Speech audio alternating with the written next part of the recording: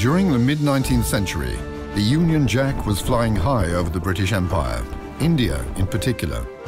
Regular shipments were made to the colony, and ships like the famous Tea Clipper embarked with their precious cargo of pale ale.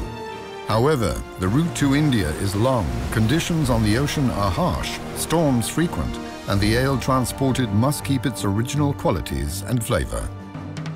The master brewers of Queen Victoria decide to add natural plants and flowers, hops in particular, to stabilize the beer.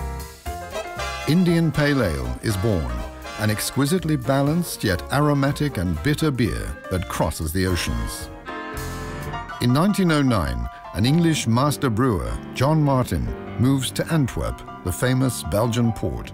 Not long after his arrival in the harbour, he produces his own pale ale and supplies distant territories by ship. John Martin wants his Indian pale ale to be unique and tasty.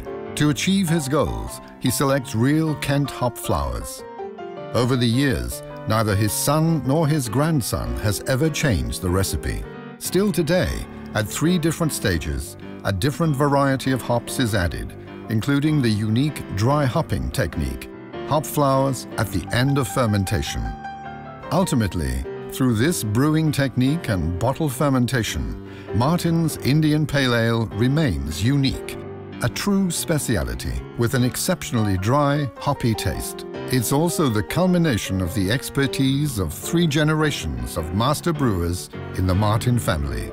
A perfect blend of English spirit and Belgian expertise.